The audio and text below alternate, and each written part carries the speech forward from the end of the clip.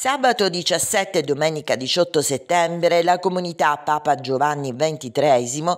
tornerà nelle città di tutta Italia con l'iniziativa di sensibilizzazione e raccolta fondi Un pasto al giorno, lanciata 35 anni fa da Don Oreste Benzi, fondatore della comunità, per trovare le risorse necessarie per aiutare chi non ha di che mangiare tutti i giorni ed è così solo da vivere dimenticato nella propria sofferenza. Ma ascoltiamo le parole di Don Orazio Tornabene, direttore della Caritas di Acireale. Amici e amiche,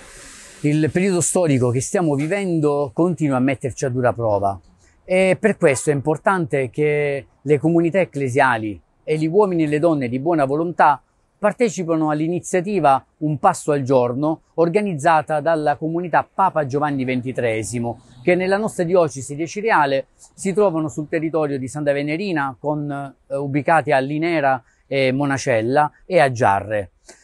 Ed è un'iniziativa che anche noi come Ufficio Caritas eh, portiamo avanti perché crediamo in questa possibilità di dare un pasto a chi non ne ha. E le donazioni dunque raccolte ci permetteranno di garantire sia in Italia che in 40 paesi del mondo almeno un pasto per tutte le persone accolte nelle varie comunità Papa Giovanni XXIII.